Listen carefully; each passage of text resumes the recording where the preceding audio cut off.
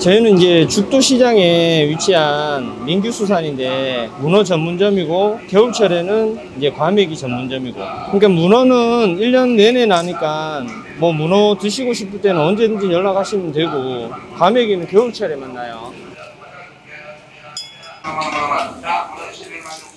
와 진짜 크다. 손바닥 손바닥보다 이렇게 큰데?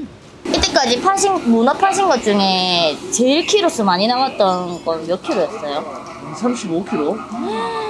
이게 통발을 배에 싣고 나가서 이제 바다에 뿌리거든요.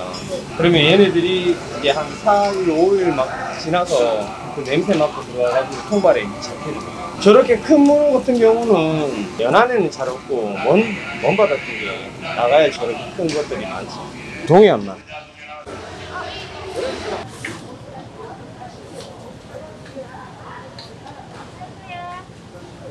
원래 문어가 다리가 8개잖아요. 네. 순놈들은 그러면 다리가 9개가 되나요? 아니죠. 똑같아요. 똑같은데 생식기가 이렇게 달렸고 나머지는 빨판인데 요거는 아. 이제 침 뾰족하게 돼 있죠.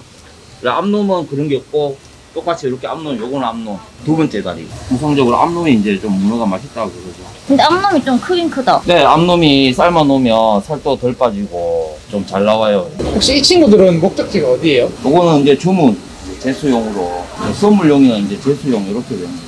이런 게 이제 단가가 제일 비싸니까 키로에 3만 5천 지금 우와. 와, 몇 킬로예요? 20kg요.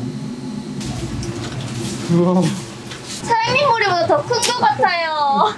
저희 문어가 포항 문어가 유명한 게 그런 거예요. 다른 지역에 그런 문어랑 여기 문어랑 틀려요. 드셔보신 분들도 다 느끼시지만 저희가 이게 조금 비싸도 좋은 문어를 하려고 하는 이유가 그런 거예요. 문어 하면 포항이 최고예요. 문어가 제일 좀 싱싱하고 잘 제철이고. 들어오는.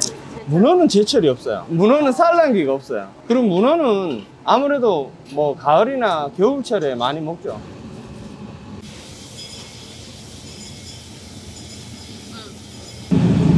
맛있어요. 이런 구성으로 지금 무료 이벤트 하고 있으니까 민규수산 많이 오셔서 많이 가져가세요. 맛있게 드시고. 민규수산